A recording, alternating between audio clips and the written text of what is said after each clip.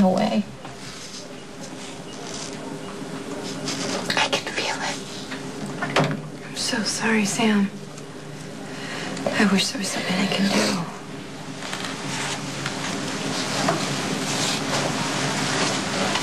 Danny. Danny, I don't know if you can hear me. But I love you so much. And I tried. I tried really hard to protect you.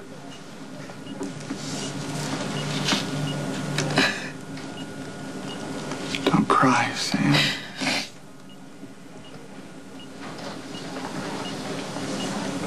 You're awake. I'm really tired. I know, baby. I'm so glad Mom and Dad made you my sister. You loved me always, when no one else did. I will always, always love you. Was I a good enough boy to get into heaven? Are you kidding me? Any angel would welcome you Wings. Everybody knows angels have wings.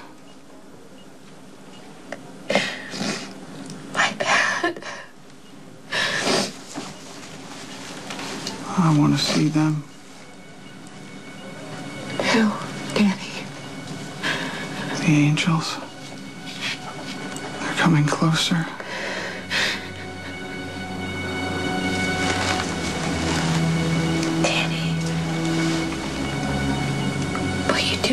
Favor? When you get there, will you say hello to your niece for me? Keep an eye out for her, please. You know, the little girl that I lost.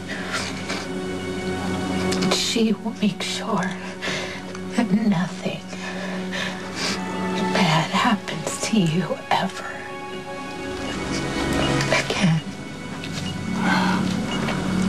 think.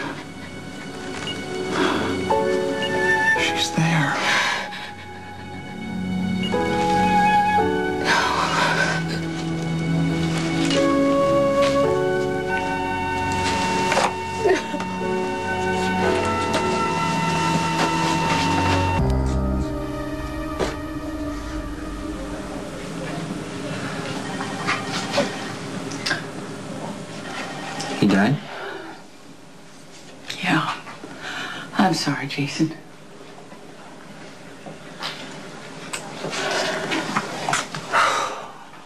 Was uh was Sam she Well, here? Elizabeth came and got me. I came in right afterwards.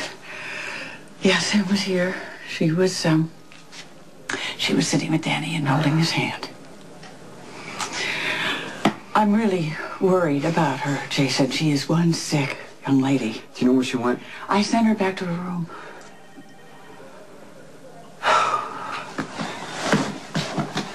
You know what? I want a doctor to examine you to make sure that you're okay. Then I want him to go to the lab. And by the way, hurry up and bottle this stuff. You sound delirious. Oh, okay. You need to go back to your bed. No, I don't want to leave you. Look at the bigger picture. The sooner you get better, the sooner we can go home and be with our girls. No, it's okay.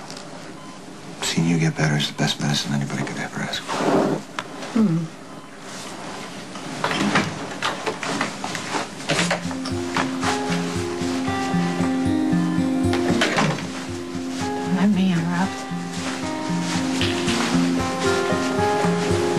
Better. I'm thrilled for you. Not that you give a damn, but my brother just died.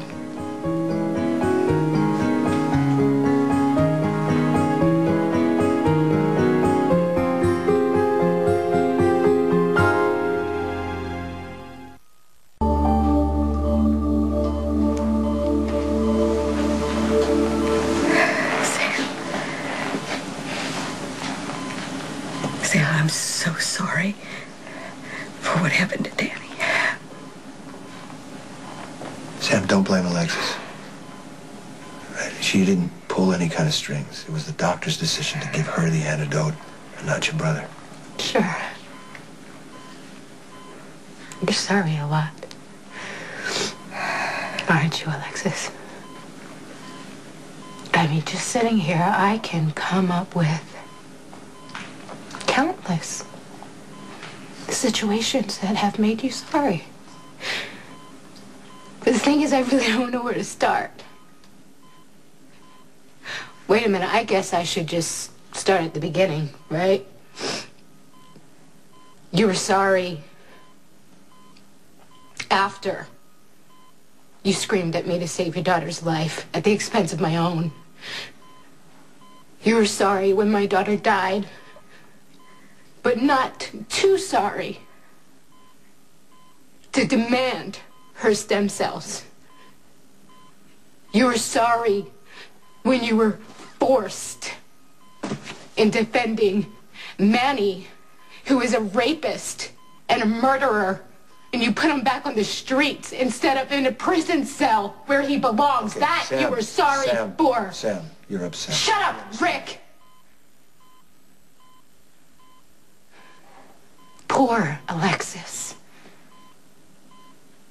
Poor, pitiful Alexis. Always desperate. Always sorry. You know what the funny thing is? I thought I actually learned something from you.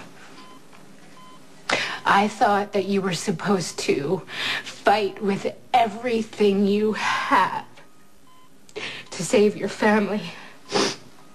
But I guess I didn't learn that from you because you are a hypocrite. You walk away with your family intact, and me, you know what I have?